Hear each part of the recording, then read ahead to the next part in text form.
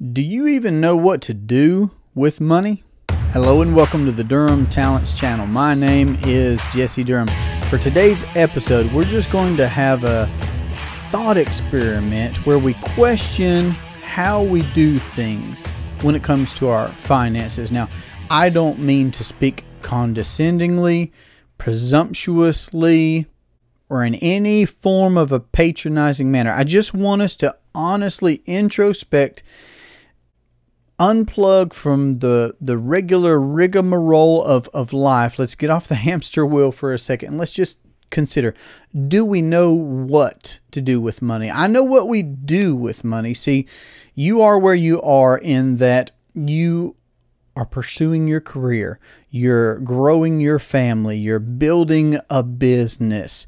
If you're some specialist, you're building your practice. If you're a business owner, you're you're you're taking care of payroll and taxes and overhead and all those types of things. If if you have some investments, in most cases, we're encouraged of course to just send our money to other folks. We set it and forget it and and and pretend and hope that in 20, 30, 40 years, it's going to be there for us. So that's what I want to evaluate is I know that we're going through life, but when it comes to uh, personal finance, uh, let's look at the things that are purported to us as conventional and normal and good. Okay, so let's just start from the very beginning. We all earn in whatever way we earn, whatever amount we earn. What happens what do we do? Uh, without even thinking it it'll normally happen on somebody's thursday somebody's friday. Maybe it's once a week maybe every other week maybe once a month. I'm a former school teacher. That was once a month for me. So what do we do? What have we directed our income to do right out of the gate I, I, suppose I suppose I have this one particular thought in mind, and, and before then we we could actually be talking about taxes um, which which is a worthwhile part of this thought process. Okay, so if you've not heard me say it, let me go ahead and address taxes. Then I'm going to get to the real starting point that I had in mind. If you've never thought of it this way, look at what you're paying in taxes and just recognize that every Monday that you work, every Tuesday that you work, maybe even some of your Wednesday of every week is just to pay taxes. Okay, let's walk that out in a bigger picture so that I, I know that you're understanding what I'm saying, just in case you're hearing this for the first time.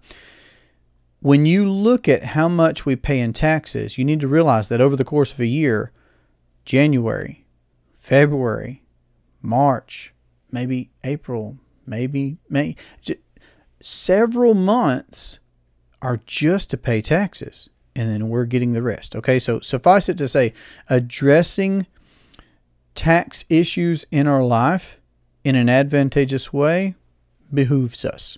Okay? Any anywhere where we can be growing capital, our money, growing that with compound interest, especially if we can find a place where that could happen uninterrupted. Don't worry, I'm going to get to it. And, and, then, of course, and when when we think big picture about how one generation can leave tax-free windfalls to the next generation. That also behooves us. Okay, so there is a bit on, on taxation, and I'm not a tax expert, but we pay taxes, so it's worthy to have a discussion about it. Now, what I started to say for for our beginning for our launching point is we earn how we earn what happens to those earnings the very first thing we've we've addressed taxes but what happens is that don't we deposit that, maybe even automatically deposit that, directly deposit that somewhere? Where? Okay, you, you know, the banks, right? The credit unions, okay? Again, let me point out real quick while we're going through this thought experiment of actually looking at how cash flows through our life, and it does flow. That entity that we send those direct deposits to is a business. That's not a nonprofit organization. That is a business. Okay. Somebody owns that business. Someone profits from that business. Your credit unions, our credit unions, your banks, our banks, all the ones you know. It's a business. So you mean to tell me that we are depositing all of our cash flows into somebody else's business before we ever touch it, before we ever use it for anything?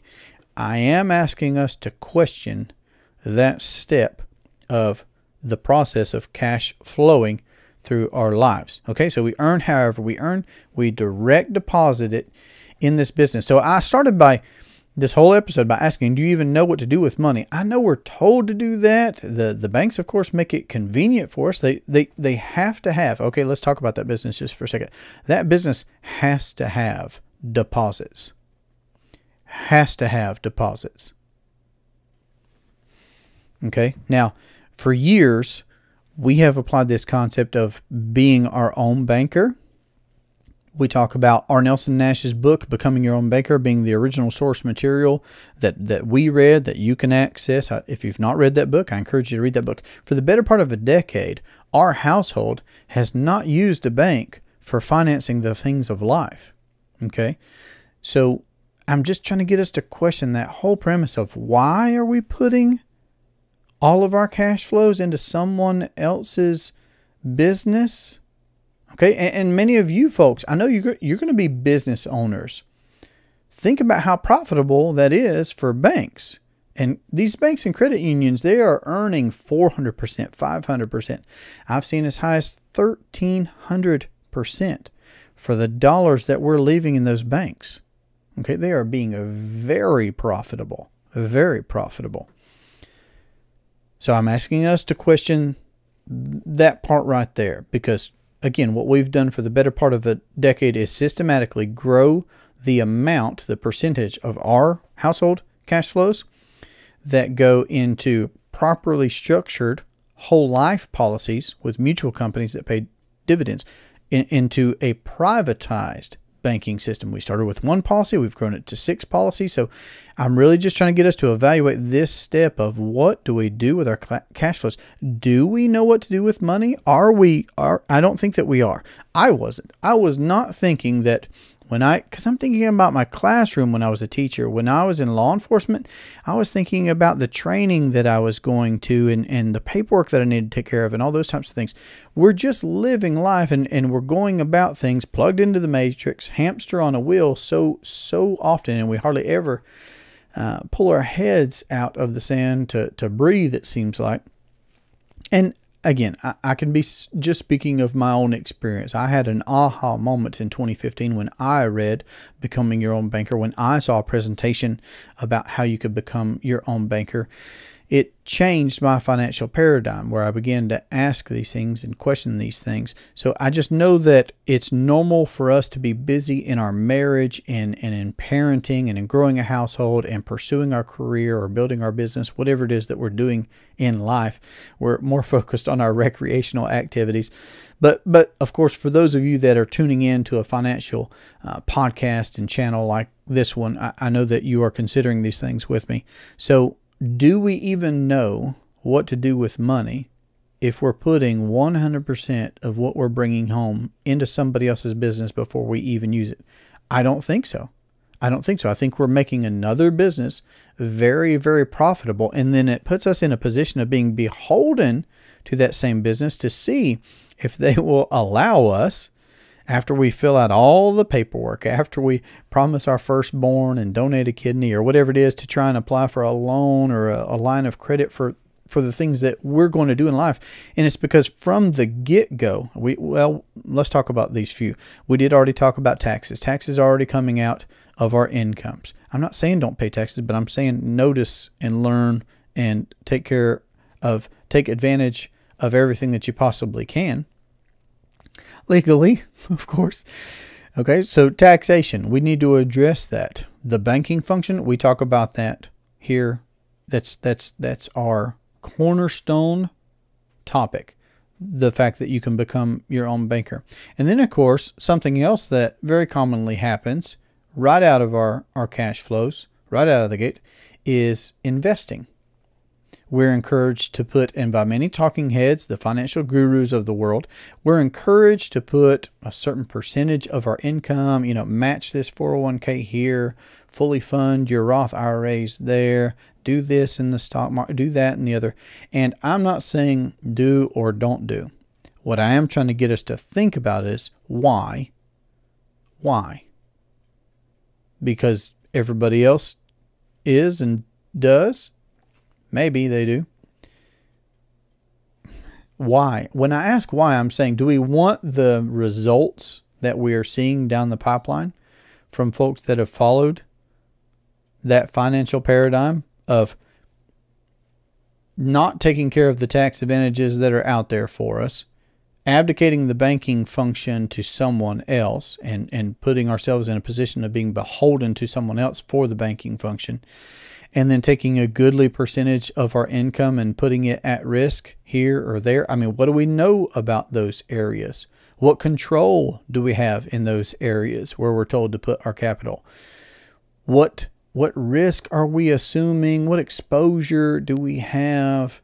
What guarantees are there or are not there? I mean, there are just so many questions to ask about where we're putting our money. And again, I'm not telling you what to do with your money. I am trying to get you to consider this one main point of who controls the banking function in your life. Because everything that we do is financed. Taxes are financed. Investments are financed. Our households, our businesses, everything that we do is financed one way or another. And we're either using the commercial, conventional banks, if they approve us, if they qualify us on their terms and conditions, we pay uh, interest out the wazoo. Uh, the collateral could be pulled out from under us, the car, the home, whatever it happens to be. Okay, that's one way. The other way is you pay cash, and there's not an opportunity cost given to our capital. There's no recognition of, of EVA, economic value added, to our capital. And then when we are paying cash for something, ultimately, we liquidate that principal.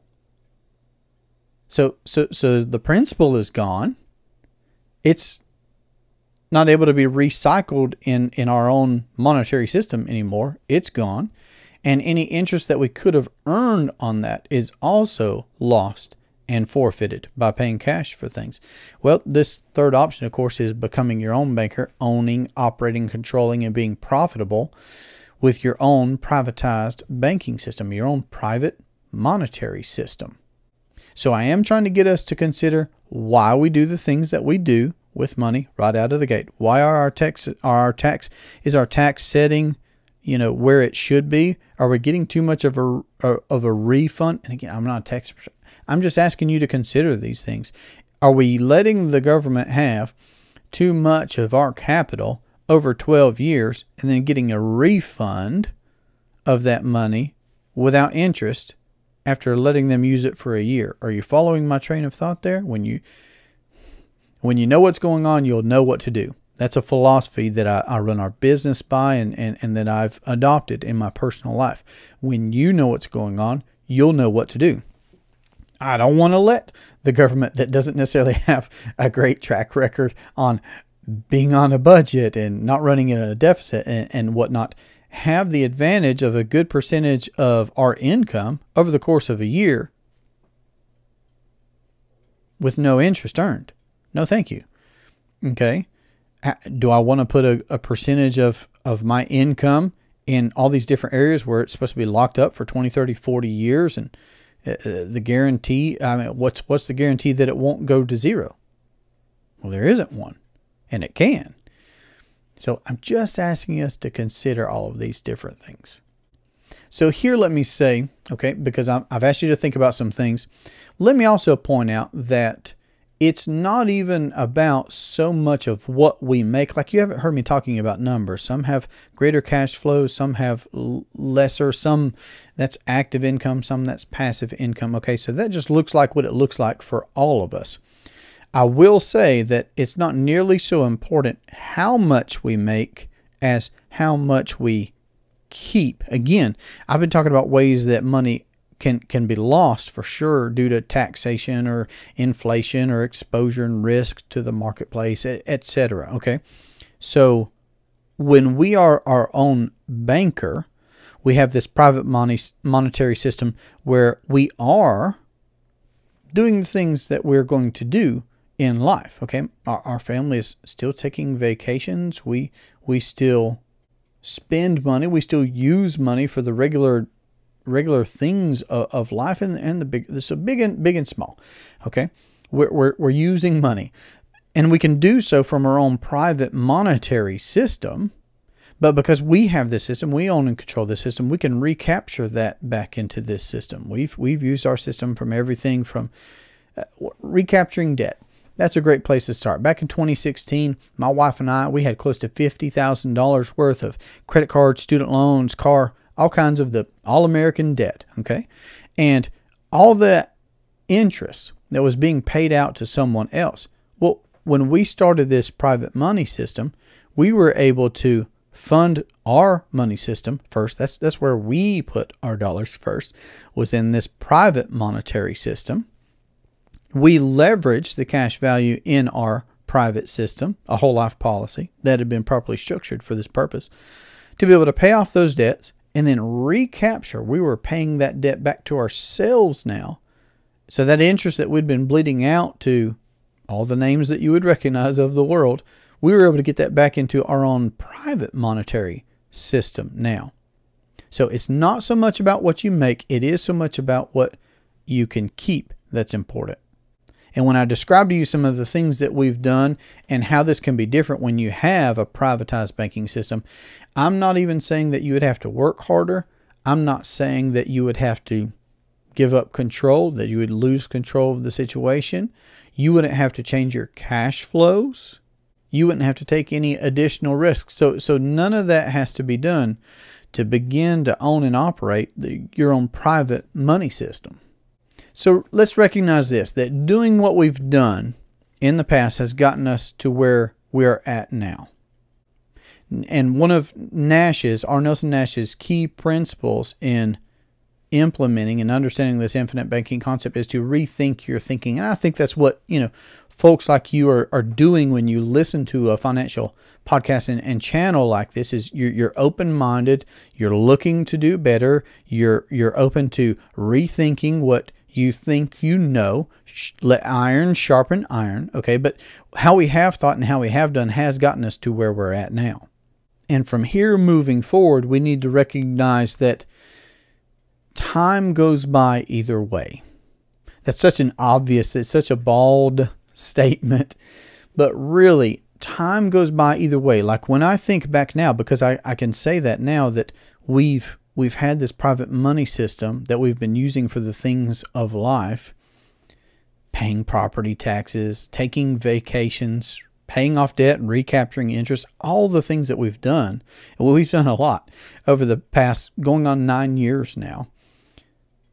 The the time has flown by. You you know this to be true. The what's that saying? The the days are long, but the years are short, or, or, or, vice versa. Time goes by quickly. You know, those of you that are parents, I mean, just think back five years ago, 10 years ago.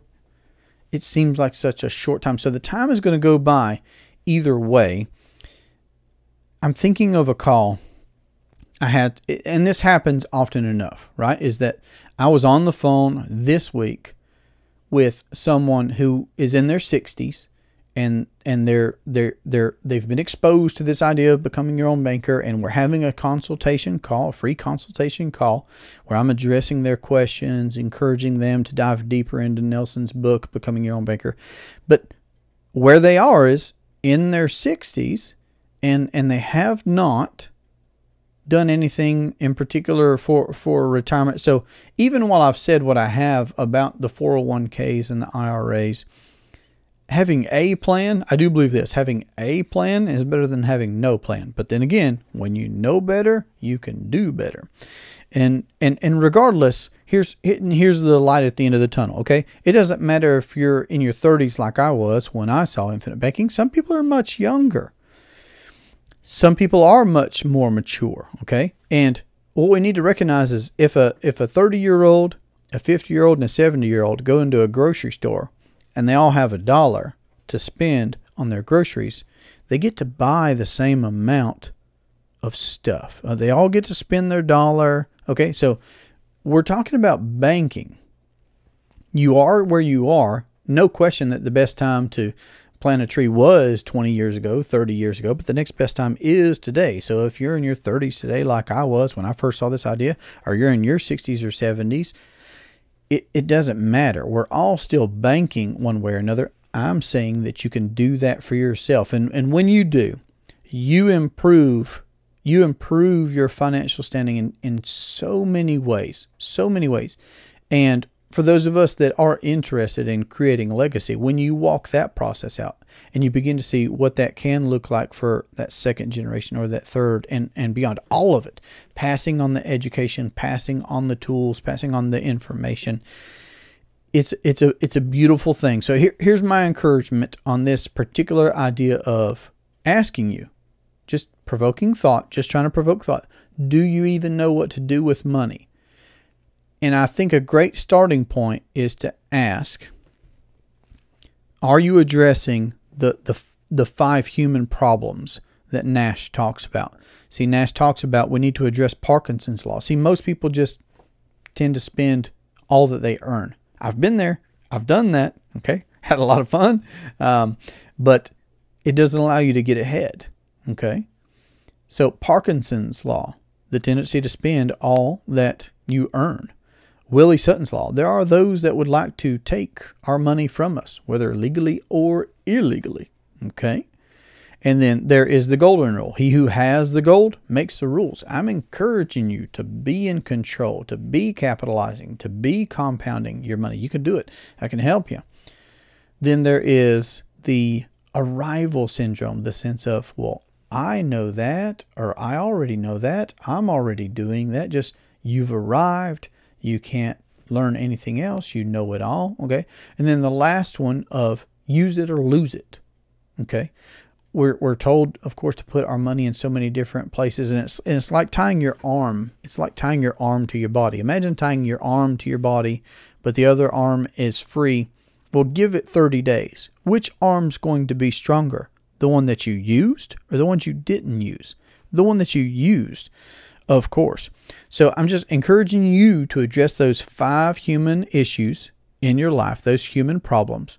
Parkinson's Law, Willie Sutton's Law, the Golden Rule, the Arrival Syndrome, use it or lose it. Address those things right right off the bat. And then do some practical things. Do some practical things like check in with HR and see how much of your income that you could be experiencing over the course of 12 months is being taken out unnecessarily, if it is. I'm just encouraging you to learn more and talk with the appropriate professionals, okay, in that in those spaces.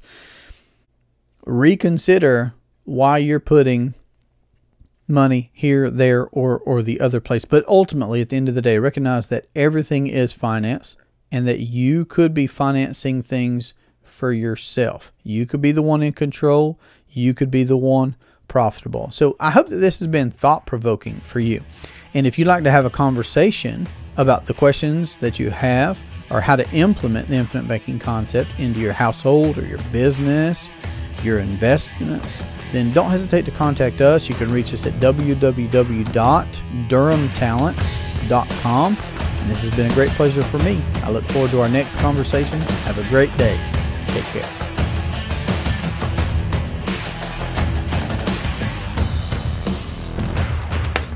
Been a while. It has been a while. As a matter of fact, some folks are going to see this beard and say, Who is this Viking? Look good, feel good, sound good, am good. So good. Yeah, she'll be coming around the mountain when she comes. She'll be coming around the mountain when she comes.